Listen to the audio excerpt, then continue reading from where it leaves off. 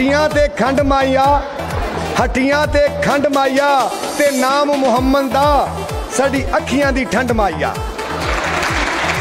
ਕੋਈ ਬੇਲਾ ਅੰਗੂਰ ਦੀਆਂ, ਅਰਸ਼ਾਂ ਨੇ ਚੁੰਮੀਆਂ ਨੇ, ਜੁੱਤੀਆਂ ਸੋਹਣੇ ਹਜ਼ੂਰ ਦੀਆਂ।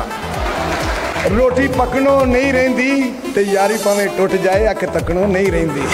ਕਾਂ ਉੱਡ ਕੇ ਬਹਿ ਗਏ ਨਹੀਂ ਤੇ ਗਮ ਸਾਨੂੰ ਸਜਣਾ ਦੇ ਲੋਕੀ ਪਾਗਲ ਕਹਿ ਗਏ ਨੇ। ਬੂਰੇ ਰਿਛ ਨੇ ਕਲੰਦਰਾਂ ਦੇ ਤੇ ਸ਼ਕਲਾਂ ਤੇ ਵੱਧ ਫਸ ਗਏ ਸਾਂ ਨਹੀਂ ਸਭ ਵਾਕਫ ਅੰਦਰਾਂ ਦੇ।